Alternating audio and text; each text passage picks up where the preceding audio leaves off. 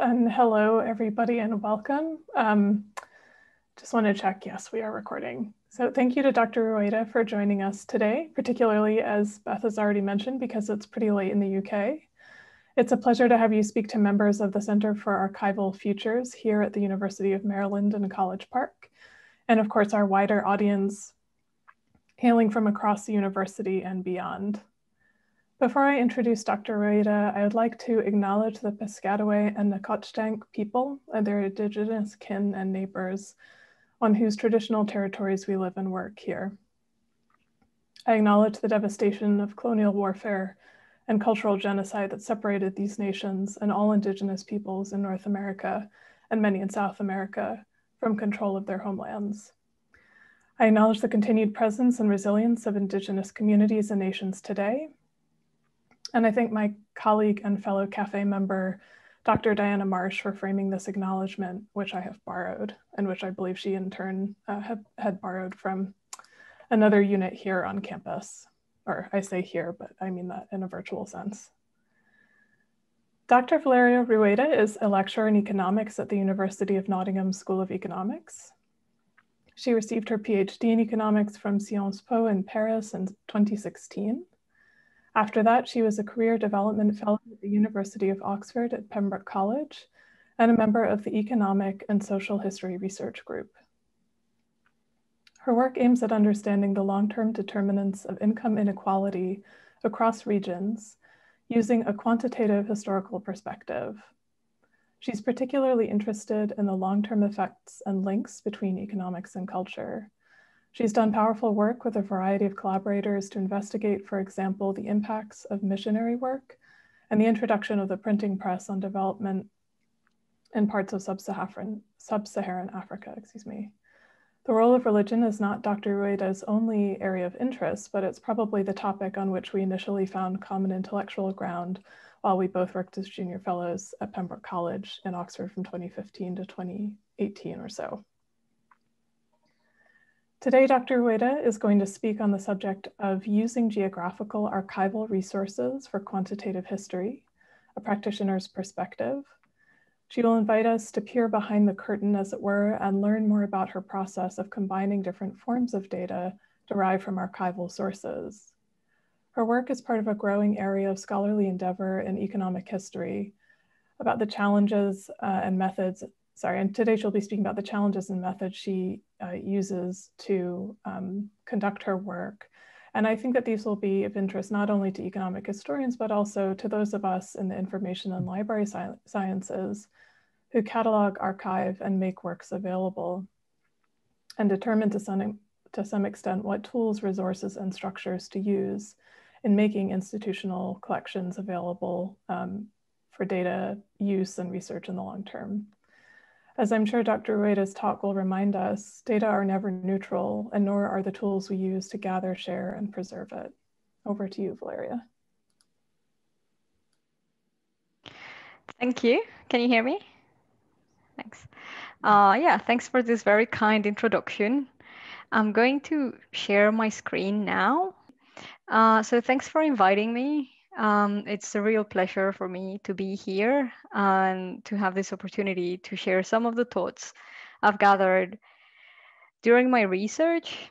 Uh, this is a talk that's going to speak a little bit about methods um, in a way that I'm not accustomed to because this is not something that we usually do in a Department of Economics. But as an economist in the archive, I think this may be of interest and it's interesting to have these sort of interdisciplinary conversations uh, going on to improve our practice um, in our research. So just to provide a little bit of context, um, this is the context in which um, my research is happening. So in, in the graph I'm showing here, I've shown publication counts that I got from the Web of Science across time over um, comparing two different fields in economics, so economic history and game theory. These are two fields that I chose for comparison because they're both fields that are not necessarily the biggest ones in economics and that have met um, quite a different uh, evolution over time. So the interest of comparing these two fields is that economic history is a fact-driven field. So we study history, um, economic history in the past, so economic facts in the past. And game theory is traditionally a purely theoretical field, so a field that we would consider a theory, and economic history may be a field that we consider more applied. And so what you can see is that uh, until the 1990s, so before the 1990s, let's not pay too much attention to what's going on because um, the number of publications is not cataloged um, as well as before. So both of these fields as, as are growing since the 1990s, and this comes together with the fact that the production of knowledge is growing across all fields. But what we observe more strikingly is that there is really a catching up between economic history that, that published a lot less before and ends up catching up really strikingly, especially since the 2000s uh, with game theory. And so this is just to illustrate the fact that in economics, the amount of applied research, so research that uses data, has really boomed, and especially compared to other more theoretical and traditional fields of research. Why is this interesting uh, to us, and in particular people who care about uh, preserving and looking at data in the past, is that this boom in applied research has used very diversified sources. So as economists, we used very traditional sources. So we may think about labor force surveys, things like this. But in economic history, there's been a boom in the type and diversity of sources that are used. So there's a boost in quantitative history as well as a boost in economic history. And there's a variety of resources that are used. And these raises questions that I want to study with you today. So the first question we may have, I'm trying to keep track of time in my other computer just because I can't see the time now. But uh, yeah, let me know when I'm at like half an hour, maybe 20 minutes from now. Okay, I'll give you a Thanks. Note. So the first question we, we may want to ask ourselves in thinking about the fact that economists are doing so much applied work in economic history uh, using archival data is what kind of archival consumers or what kind of archive consumers are quantitative social scientists and quantitative uh, historians in particular. So what's specific about us is that we are interested in seeking statistical patterns. We want to know regularities um, in the different categories that we may be interested in for specific research. We are interested in regularities over time, GDP, how GDP changes over time, how it varies across regions, how um, inflation may have changed over time, elements like this, but also much more sophisticated elements that I'm going to show um, later. And the counterpart of this is that we're less interested in individual stories. So if we think about a lot of the research that has come um, you know, from other fields of history, a lot of it is about finding voices of the past and particular voices that may not have been heard. And this is a little bit less of the interest of economists in general right now, because we're less interested in the individuality and much more interested in the regularity and the statistical associations. So the kind of problematic that I've identified throughout, you know, these period of doing research as you know, computing power has increased and facilities to deal with archival data have increased, is that we may think that this emergence of big data has made, so has increased the number of resources and by then has made it easier for us as quantitative historians to do statistical analysis with archive. And what I want to show is that that's not necessarily the case. And there are specific challenges to statistical analysis that are important to uh, bear in mind when we're thinking about producing data from archives. So one examples of, of the fact that you know this big data aspect has not really necessarily been accompanied with a facility to produce statistical analysis can be seen here with this screenshot. So I got this screenshot from my Ancestry account. And Ancestry is a corporation that collects an enormous amount of archive. And so they've collected a lot of data. And one may think that it is easy to use their uh, their statistical, and you know, the data they've collected just for statistical purposes. But that's not necessary. That's actually not true. It's not, not that it's not necessarily true, but it's not true. because how they uh, the product that they're selling is really the possibility for individuals to create an individual story. And that's just visible since the landing page, where really it's all about me and creating my tree and discovering my unique story and discover more about my ethnicity and my living relatives, which is all that I've highlighted here, and really know a lot about knowing what's the average population, you know, what's the average population of the place where I grew up, or the number of people who registered in this particular archive. And that's actually a, a type of data that's quite hard to find on Ancestry, although they do have the information. So just to illustrate this and the difficulty of or the specific types of standardization and categorizations that economists and historical sociologists or um, historical political scientists may be interested in. I've taken a very canonical example. I guess that if some of you are familiar with statistical archives, this is going to be quite obvious. But um, again, the difficulty in these exercises that are a bit of an interdisciplinary discussion is that it's not always simple to know what's the what are the priors of your audience. So just a little bit of a reminder. This is a page from the English census, so just a copy. And uh, you see the individual information about each person.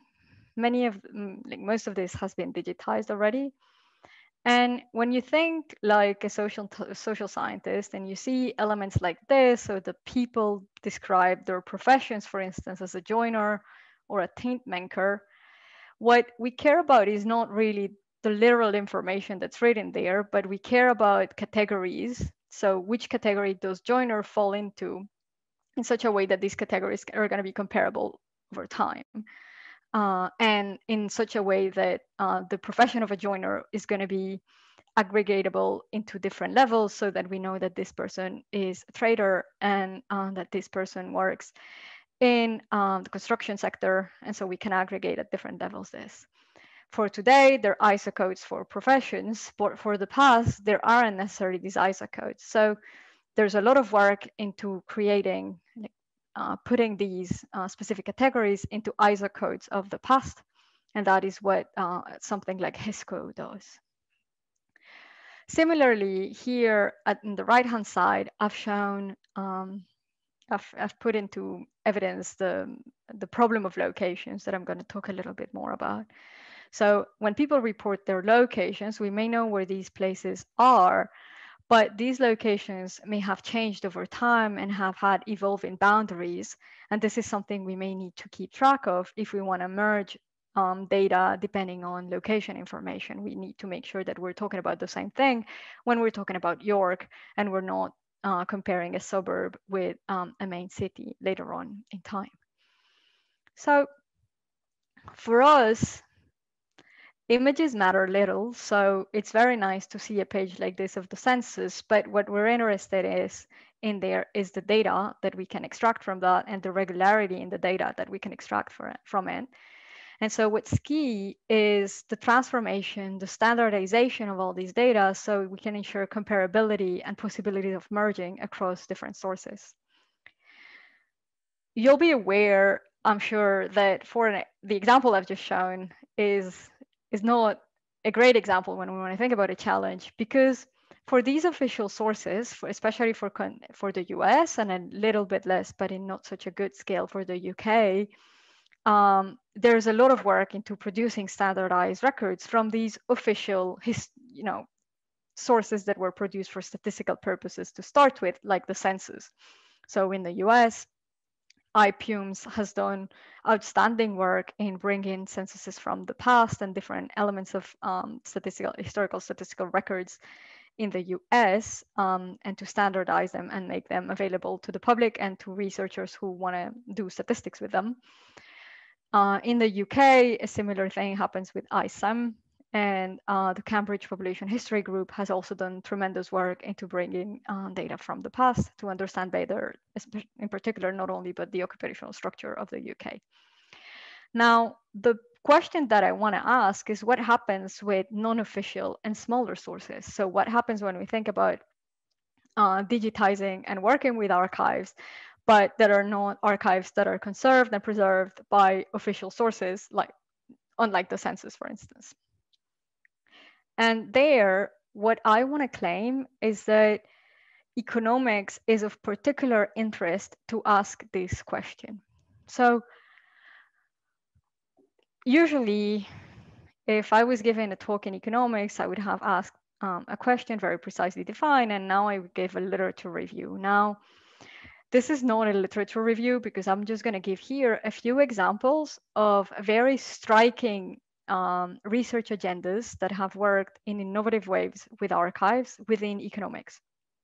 And the reason why I think it's important that we focus our attention a little bit more in terms of data production on economists is that this boom in applied sciences and in bringing archives to life for quantitative and statistical analysis is likely present across all fields. But within humanities and within social sciences, economists, you know, economics holds a particular place of power, especially the amounts of resources that a department of economics may gather and in the amount of funds that um, economists may collect from um, funding grants for research.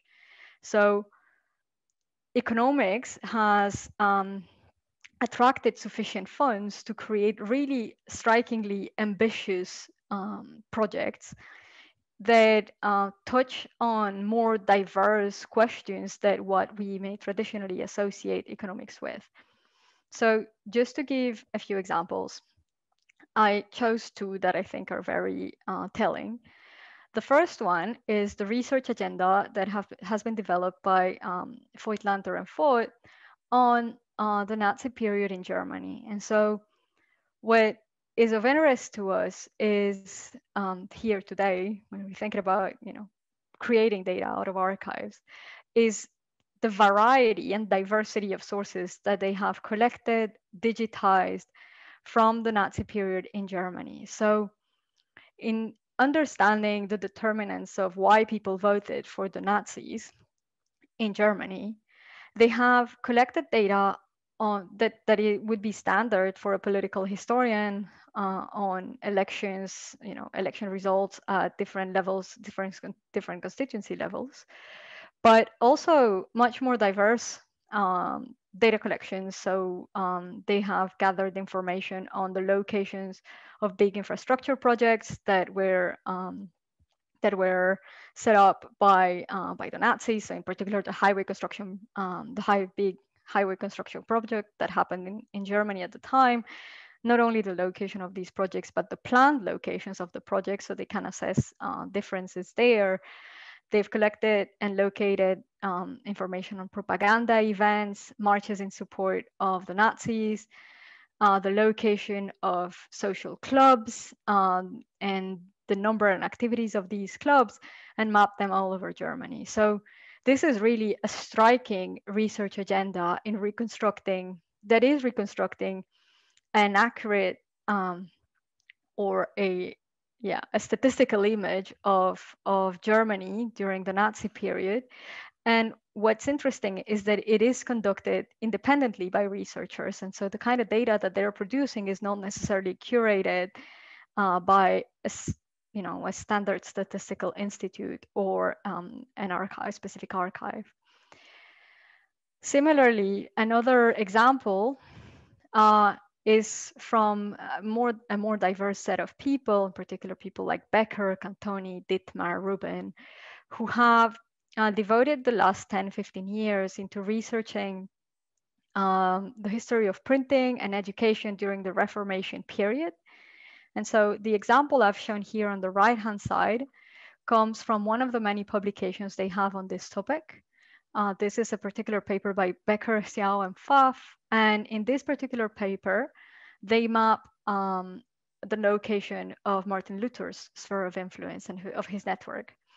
And so here they've gathered, so again, they started with traditional sources on population and city growth and urbanization, but um, this project has merged into an outstanding effort in data collection and merging of all sorts of records from the Reformation and uh, from the history of Martin Luther. And in this paper, they map all the locations of Martin Luther's sphere of influence, either by looking at his correspondence, his students, um, and places that he actually visited. So let's say economics and certain economists in particular who hold um, a very visible position in the profession have managed to collect resources to conduct data collection efforts and data standardization that really go beyond what we would have sort of traditionally associated with just um, sources that are of interest to economists. And um, these data are shared usually with the standards of the economics practice, but we don't think that much in terms of how do we curate and keep that data for the future. And I think that's a conversation that's quite important to have uh, between archivists and people who are now producing all these data sources. So the questions that I want to uh, talk about, although I've touched a little bit um, on these, is what kind of data products do economists create? how do we process historical information, what kind of information we lose, and what kind of new information we can create, and what kind of challenges can, can be identified, in particular in terms of data sharing, in terms of improving data for the future and diff merging different sources. I'm going to delve into these little questions by just doing a little bit of soul searching.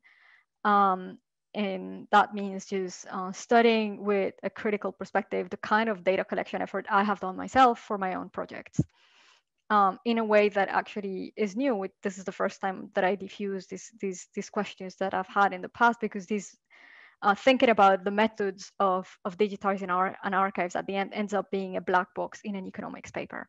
It's not something that you necessarily discuss. So I'll discuss this particular research agenda that I had for a while. Um, and it's about Christian missions in Africa in the early 20th century. So what type of questions was I thinking about when I started these projects? So Europeans uh, had a big missionary expansion in Africa in the late 19th and 20th century. And this, surprisingly to many, has gathered a lot of attention from economists. And so maybe the first question to answer is why would economists care about this? This is a very large scale and mostly decentralized, or at least more decentralized than many colonizing efforts um, project. So many different initiatives are, are, are emerging and missionaries are traveling from Europe to, uh, to Africa to settle and, and convert people. These missions had a clear ideological mission, convert people to Christianity, but that's not the only thing that they did. And in particular, these missions um, conducted a lot of activities that missionaries thought at the time as part of their civilizing mission. Uh, so, I mean, with quotes, obviously. And so what were these projects? There were things like uh, infrastructure building for schools, uh, training teachers, building hospitals, elements like this. And we care about this as economists because then that makes missions look a lot like international development NGOs of today. And uh, actually a lot more than what a lot of international development NGOs would like us to think. And so the natural question becomes what kind of long lasting development effects do these um, mission stations have, given that today we care about NGOs that invest in education, invest in health, and we evaluate their short run um, outputs in development papers. Well, what happens when we think about what people thought as development, and at the in the past that was called civilizing, quote unquote, what kind of effects that had in the long run? So to answer these questions, uh, I needed to start to know where missions were. And once I knew where they were, I needed to know what they were doing. And so to answer this question, I mostly collected data from a variety of sources and especially a variety of atlases. These atlases were published sources by associations of Christian missionaries and also by the Vatican later on uh, when I started working on Catholic missions. And they, as published materials, they're held, they're held in many special collections. So At SOAS, for instance, they have quite a lot of them here in the UK. In France, I use resources from the French Protestant Missionary Service. And across US university libraries, they're really scattered and you can find them um, in many, many places. So for us, what was interesting was the fact that in these atlases, you could see uh, maps locating missions. So I would know where they were. And there are many of them. I'll show you a picture that shows that more precisely. And so you have the maps locating all these missions. And for each particular mission, there's an index in the back that tells us what the mission was actually doing. So here's an example, for instance, that I've zoomed in to show on the left-hand side. So uh, this tells us that the Bolobo mission in Congo, Africa is shown in pages 14 and 15 of the atlas. And it was run by the British Missionary Society, arrived in place in 1888. And it had six male European missionaries, five wives of European missionaries, one single woman or widow, there were 31 Christian natives practicing in the church, one Sunday school they were running, one printing press they had, one village school they had as well, and they also had one dispensary. So this is a particularly wealthy mission that is running all this infrastructure. So it's interesting to locate them and understand what happened in terms of local development around that mission at the time.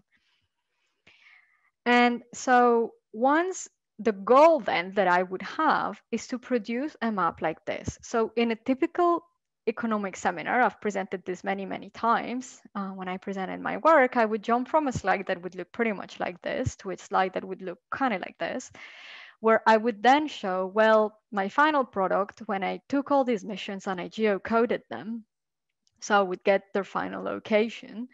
And so there would be like around, I think around 2000 missions in total here. And um, each mission station would be linked, and I would just say that it would be linked to information contained in the back. And here, for instance, we can distinguish Catholic and Protestant missionary societies in different colors and distinguish uh, missions that had some kind of health facility in a triangle and missions that did not have some kind of health facility. So this is a map I produced for a paper that I had on the long run effects of missions on the spread of HIV and uh, in particular, I was interested in, um, in the specific channel of uh, the persistence of health facilities. So um, I looked at the locations of actual health facilities. So what I wouldn't then say is I wouldn't start thinking about how I actually transformed this raw data into this map that I exploited. And when thinking about how to do this, there are different ways of doing it. There are many different ways of doing it, but two standard processes and two standard workflows that one may have when we want to do uh, this, this work of um, digitizing these archives would either be geocoding with names or georeferencing the maps. And so geocoding with names um, entails that I would enter all these names so Bolobo in Congo or elements like this. So I've done this also with British data now. And so you take a list of parishes and use Google Maps, the Google Maps API to uh, extract coordinates for each one of these locations. Uh, now this is so standard that you can even do it with Excel and Excel has a plugin that will just come in and extract the coordinates of a list of locations using, I think, uh, Microsoft Maps or Bing Maps or whatever they're called, um, that API. Now, this, this has a caveat, if I just took that for granted, and it's that old names are not, so this is cheaper, you know, I'm just using software. But the issue for historical resources is that names change, and especially names of places that were previously colonized change. At the time of decolonization, many places change names. So these old names would not be referenced as well in, um, in Google Maps. And so I wouldn't be able to accurately locate these places. Uh, and another caveat is that maps and the penetration of Google Maps is of poor quality in low income countries. So identifying the exact location of a tiny place is quite problematic um, when I want to do that for Zimbabwe, for instance. So this is the cheap version, but it has caveats. And uh, the more expensive version is the version in which you use high scale work. Now, uh, what you do is that you take these maps and you georeference them using geographic information uh, systems. So you georeference the actual map, and once the map is given coordinates, you can take each specific location and extract its coordinates using geographic information systems. Um, the good thing about this is that you keep all the maps information for doing when you do so. So, um, and in particular, you can do things such as uh, there's one PhD candidate at Oxford who was working on this is to georeference old maps and actually not only use the information of the map itself, but the amount of error in mapping that there was in the past to get a sense of how good the mapping technology was at a given point in time. So you keep all the mapping information when you do so, but it is costlier because you need to scan all the maps, get the high image, uh, high resolution of images. It involves high skilled work. Not everybody knows how to use uh, geographic information systems. And there's a lot of cross checking. And the reason for that is that historical maps have mistakes and errors. And so when uh, you georeference something like this, typically uh, an African map of the 1900s, would be relatively accurate along the coast, but the more you go inland, the more distortions there are going to be. And so you need to overlay tons of contemporary information, especially about so topographical information on rivers, um, mountains, elevation, things like that, to make sure that you actually correct the location that was erroneously drawn in the map. And so that requires quite a lot of geographical uh, knowledge. So that's for uh, the process. And what I wanted to show here is that although we never talk about the process that we can choose, both of them contain information losses. So in, you know, and, and specific choices and specific errors that we may have. So we may have specific biases that are driven uh, due to the fact that contemporary um, contemporary tools that we have to geolocate places are not as accurate in poor countries, or we may have biases just because the sources of the past were not accurate, and we need to correct these. Um, we need to correct these um, these inputting errors, and we no, may not correct them accurately. So these processes are not neutral, which means that a lot of the data that is created for, um, for this work and these processes requires correction and improvement over time. Now, this is where I think we're falling a little bit short. So just to illustrate that, I can talk a little bit about what happened to my work. So once I finished my publications in this field, I created a repository at the University of Nottingham's data rep. Um, it is protected under a Creative Commons license, and the data can be downloaded with um, in the geographic information systems um, format, so uh, as a shapefile. So you can download the shapefiles that I created and play around and also replicate my papers. Now, I, as an economics researcher, I don't have an incentive to do much more than this because I get promoted uh, given my publications and any kind of data publication I will have will be of lesser quality, I mean, seen as of lesser quality that as sort of standard publication in economics where I'm trying to find any kind of causal effect of something on something else. So I don't have a strong incentive to maintain this. And also I won't have a strong incentive to improve it. So this is quite visible in um, in what in thinking about the story of what happened uh, to this project later on. So surprisingly, there's a lot of research, as I said, on missions. And um, a few years after I published my first work, there was this um, work from uh, Jedwab Moradi and Meier zu Selhausen, where they criticized our database, saying, well, this database is not great. Um, look, we have uh, gone to the archives in Ghana and gotten actual registration data from missions where they were. And I can show you, obviously, there's a trade-off in terms of precision and cost of a project. So because this was so much specific data, they only did it for Ghana. And um, they identified that the atlases that we relied on, obviously because they were published in Europe by European missionary societies, clearly underestimated the work of much smaller missions, and in particular missions that tended to be outposts of um, Africans converted to Christianity.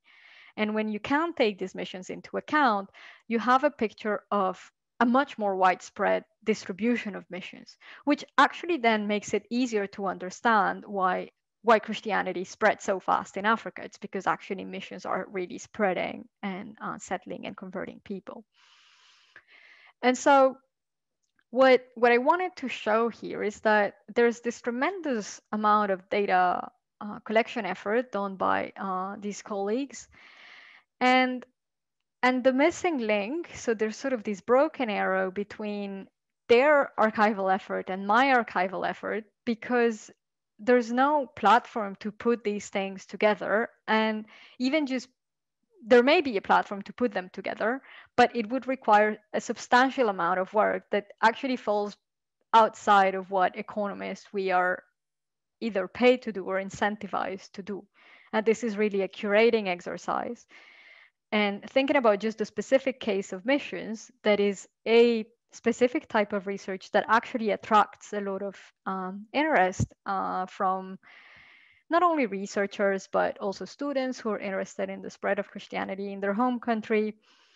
Um, definitely you you get a lot of interest from these people and small amounts of data work may have been collected for a particular province in a particular country but you can't easily aggregate all, all these data you could think, well, it's just a matter of downloading the right sources and putting them together. But to put them together, there would be a significant amount of cleaning to do, especially to make sure that you're not double counting a lot of missions and that you get rid of the ones that were in my source um, initially. And in the second source, you, you know, you, you end up just with uh, the right number of missions. So really with this, um, had me thinking is that we don't get the incentive we have an incentive to collect the data and to work with it and to exploit it but we don't have an incentive to curate them for the future and to keep them up to date. Just because once a paper is published the data may be dead. Um, so that's the first um, yeah the first project i wanted to to talk about. Now something else. So I'm running a little bit of the time, but I'll try to talk about this very, very quickly. Um, and this is a thought that I had about um, the specific challenges that are raised, again, when we think about other ways of, of bringing data together and um, and when we think about producing research through different kinds of sources. So in uh, during my postdoc, I studied the uh, the population, the the historical demography of Italy at the time of unification. So, Italy is an example that's quite striking uh, because it's a state that goes in the mid 19th century uh, from being a place that's a collection of independent states to a unified country in a very rapid movement. So this is a bit unexpected when it happens. So the economics question that we had was whether these border changes and the fact that you remove all these frontiers, all these borders, does it have an effect on economic activity, in particular the location of people? The data challenge that we we had when uh, when we started doing this project was a very well-known issue for any kind of uh, statistical institute, and it is the fact that administrative boundaries change. And so when you're trying to collect um, and merge data of specific locations over time, you need to make sure that you're talking about the same locations. So administrative locations change, and you can observe that when you look at um, any big city today. So here, for instance, let's look at Genoa. Uh, around yeah around the place of Genoa. So in the boundaries as polygons, I have shown you uh, the contemporary boundaries of the city of Genoa. And in little triangles, you have all the locations that were separate municipalities in 1871. So there are many, many, many of them. And you can see that over time, big urbanization, the big urban centers start swallowing up all these places. And so this is a classic, what's called a modifiable unit area problem. And typically statistical institutes keep track of this, but um, this becomes a challenge when uh, you hit a problem. Uh, and well, this becomes a challenge when when you start thinking about the emergences of states, which is what we were thinking about in the emergence of the state of Italy, because as you can see, states that were producing the data before unifications are states that don't exist anymore. So here I've shown that our first censuses from 1848 were from the Kingdom of Sardinia, and we needed to merge that with censuses of Italy in 1861 and 1871, but uh, the Kingdom of Sardinia has disappeared. And so obviously it isn't keeping um, records anymore. So um, how do we keep uh, track of boundary changes from uh, very uh, from states that have disappeared? That's the question. Now, the reason why I thought this would be interesting to raise today is that for many of um, for many projects, sometimes we think that uh, the solution is to put together uh, platforms, crowdsourcing platforms uh, that would help us um, take in all these collective knowledge that people may have, especially given all the uh, all the big number of people who are local history enthusiasts, and bring them together into uh, specific platforms so that we then can, for instance, keep track of boundary changes.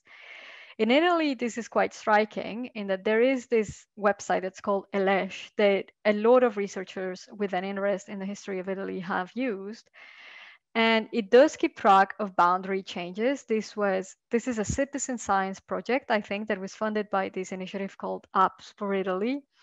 And the records are quite well kept. But what was quite striking was the fact that something that was present in their database, which was a list of places in 1861 and how they changed their names, let's say in 1871, this is data that they had present in the website, but you couldn't extract. So the website was excellent to keep track and to tell a story of each particular individual community, but it wasn't really tailored to people who could do statistical research or who wanted to do statistical research. So you could technically think about web scraping the website, but there's there's an ambivalent feeling about that. It's a hack, so that tells us that the website wasn't planned for it. So and it would be better to have better design. And any kind of web scraping exercise anyway will be you know prone to errors, and there's always a lot of cleaning and a lot of extra work to be done for something that at the at the end of the day could have been thought initially um, in a better way and could have been um, designed in a way in which we the purpose was not only to cater to people who have um, an ambition to tell an individual story, but also who wanted to do more statistical work. So really, um, I just wanted to mention these uh, these thoughts because this is these are elements that I have been collecting uh, throughout my short career now on in uh, economic history and as a quantitative historian uh, there is this impression that big data methods allow us to really, and it's not an impression, it is true that it allows us really to gather and merge data sets from different historical sources in innovative ways. We can merge them by names because we can correct names better. We can merge them by location because we can geolocate all these places. We can combine them with contemporary information when we, uh, when we combine maps. But there's still a process to be done in if we don't want just an anarchy of data created without any kind of future and curation in the future. And so there's progress to be made in terms of data sharing and curating all these sources and into you know making these sources in a way that they're dynamic so they can be improved and built upon in the future. And and I think the way to do that, and this is why I wanted to give this talk today, is that we need to improve the conversation between different stakeholders. So researchers who are producing all this information, users who may have an interest in their specific history of the mission around the place where they grew up, but also curators who are now, you know, to be absolutely honest, my impression is that they're a little bit out of the conversation in our field, um, at least for these types of projects. So uh, thank you very much, and thanks for the opportunity uh, for talking here today. Great, thank you, Valeria. Um, I will take the chair's prerogative uh, in, unless somebody has a burning question.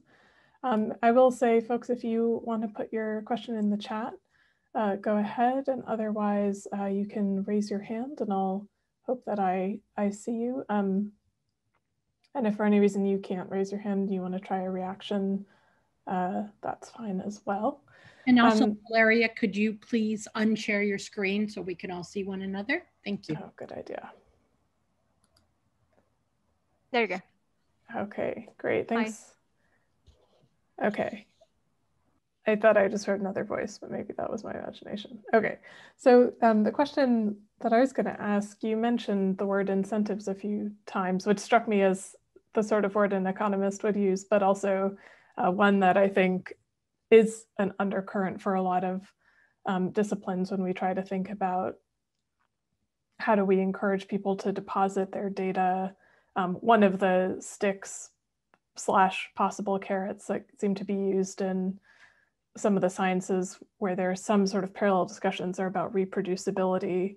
And um, I wonder if that is also intersecting with some of your own work. It seemed to be uh, one of the goals of making your data available at, at Nottingham. Is that is that accurate?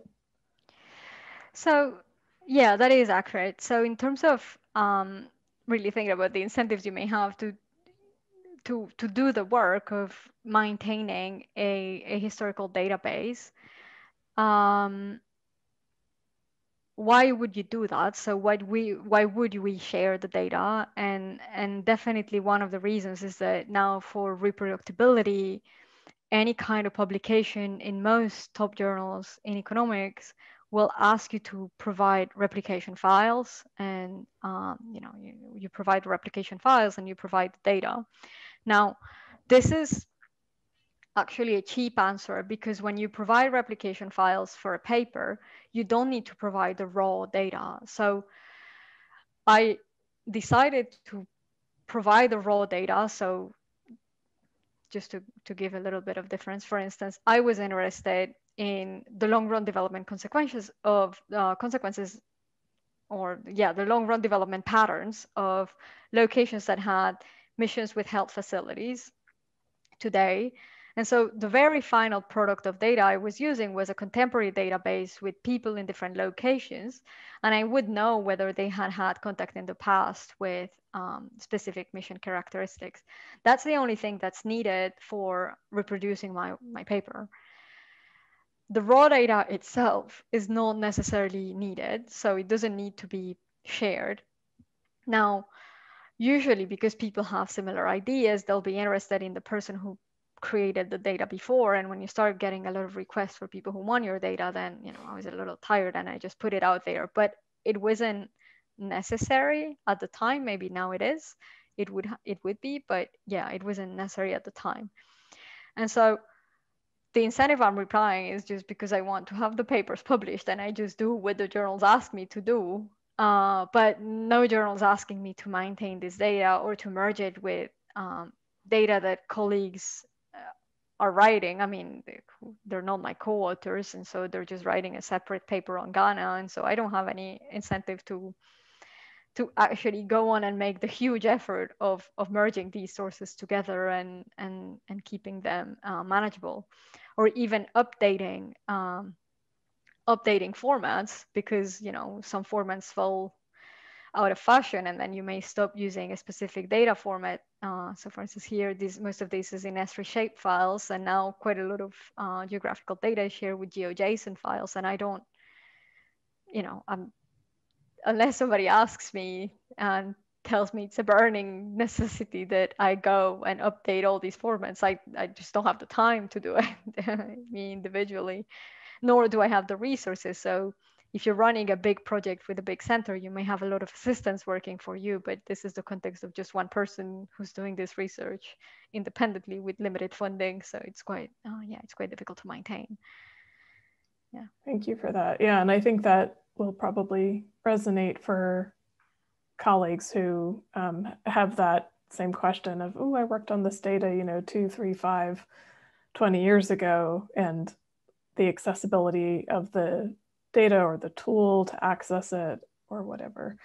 Um, we were just chatting about that last week, actually, as a group. Um, I see Katrina has her hand raised. Hi, I wanted to thank you so much for this talk. I come from a background in digital curation, and my research is focused on sustaining digital resources and data just like the ones that you've created. And so this is a, you know, this is a very central interest for me, and I love your perspective on it. Um, I I think I think there have long been these sort of parallel ideals for the world of of where curation and and humanities and social sciences scholarship intersect, which is that on the one hand, that curators will will recreate archival collections so that they are perfectly amenable to research, to different kinds of research with different methodologies. So they will sort of you know prepare in advance collections so that they are maximally accessible for different kinds of research and the sort of complementary ideal is that researchers will add a ton of value to archival collections and and interpret them and um, and and create beautiful interactive maps and other kinds of interpretive resources that build on archival records and that archivists will then bring those back into the collection. So they have this sort of virtuous cycle like advancing knowledge with these roles split between curators um, and and scholars. And obviously this cycle fails at each sort of handoff. There's no real way for um, curation institutions to systematically take in the kinds of data and resources and interlinked data sets that you're describing. Um, those things are envisioned for sort of like the next generation of of archives, but they're not here yet. And uh, and there's no way for researchers, as you've so clearly explained, to maintain these resources on their own. So I'm just curious if you have any insights that would help um, those of us who are educating future archivists and curation professionals, uh, those of us who are doing research on how archivists and, and curation institutions can better support scholarship any insights on like what we should learn from your process of of extracting data from collections and reusing it what how could we support that work better yeah i think that's a, that's a huge question i it it's something that i've you know as i said here for me it's it's still an open um I, I I can't pronounce in terms of what would be the optimal way of doing this. There's probably tons of ways of thinking about this, and and I would know I wouldn't know which one's the most efficient one. But but definitely there are little things that seem to be missing. So just keeping track of what what people are doing i guess this is huge but it's a sort of marketing exercise when you visit an archive and then and then nobody so i've i've had so none of what i've done could have been possible without time that a specific archivist gave to me.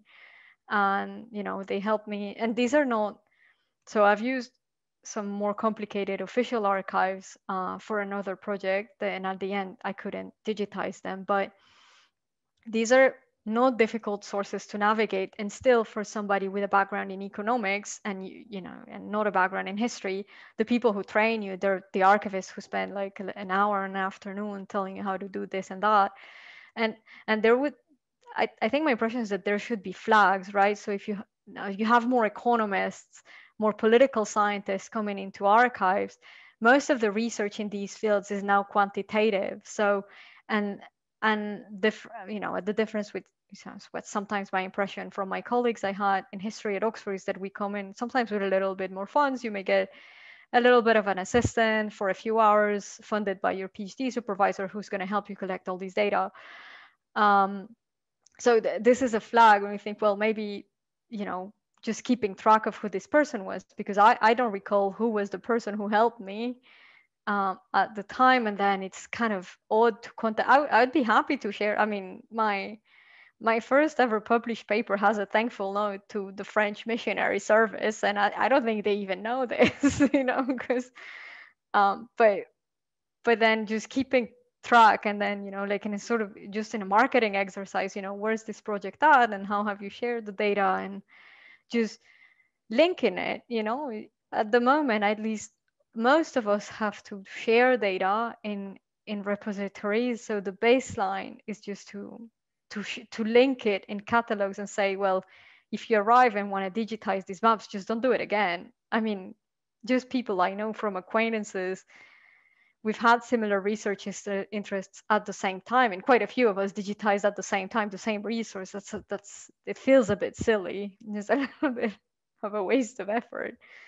Uh, so yeah there's a i guess it's it's almost a, a, marketing question to ask in people in business is how do you make sure that you're collecting the right information and you're flagging the right people? You know well these people are probably creating data uh, that you know maybe of interest then it that it's not going to be cataloged i think also that's key is that maybe traditionally a historian would then publish a book and the book would end up in the university library catalog but but here the data is just created and it flies away and it's very hard to trace it in a in a paper that's published. It's just very hard to put the link from one to the other. So yeah i, I guess that's kind of ideas I think about, but I don't know if this is helpful. That is super helpful and really yeah. interesting. It kind of comes full circle with Victoria's yeah. question also about credit and about incentivization. That makes a lot of sense to me. Thank you. Thanks. Um, thank you all. We started a little bit late, so um, we have one more question in the chat uh, from Brian. And Brian, I'll let you ask that and then we can wrap up. Yeah, so so one of the things that I'm aware of in discussions of institutional design is you sometimes have a, a, a class of problems that relate from to what happens when you have folks that are taking an extractive approach to a resource versus folks that are taking an invest or a generative approach. And that sometimes you can have market failure and other other types of failure, institutional failure because of that mismatch. And I mean, what you're describing sounds similar. Is that I mean, for, for an econ- the economist, it's it's getting the causal results out of the data. Yeah. That's what they're incentivized to do. It's relatively shorter term, and the archivist is incentive incentivized to create resources that other people are going to use. And, and I'm wondering if this is like a, a general an instance of that more general case that happens with corporations and communities and nonprofits and for profits and all sorts of other things like that. I mean, does that? Yeah, so definitely i think you phrased it right is that at the end what i'm describing is it's a it's a public goods problem. Mm-hmm. and and when you're you're creating the source there's there's a dimension that's always going to be there that's you know non-excludable. It's a, it's a public good but but the only thing i have an incentive to keep is the private part and it's the part that you know gives me the publication. So definitely you know we're we're not thinking about all this amount of public good that we're creating and and it it feels a little bit like a collective waste sometimes. I mean I, I, these are hard words but but sometimes it does feel a little bit like that so uh, so yes. So that that's a that's the right way to put it. Yeah. Thanks. Thank you. Okay um, well thank you Valeria so much and thank you everybody for joining us today. Um, Beth, I can't remember if you said earlier at the at the beginning about our next speaker. Yeah, no, I would like to do that right now. Thanks. Okay, over to you. Thank you very much. Thank you. Thank you for yeah, a round of applause for Valeria. Thank you. Get it? Round applause. Anyways.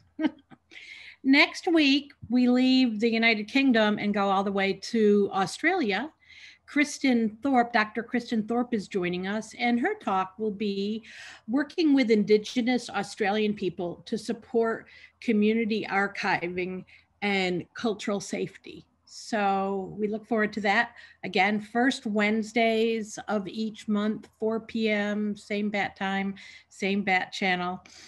And we will see you then. And again, thank you everybody for coming together for this wonderful talk. All right. Thank you very much. Thanks so much.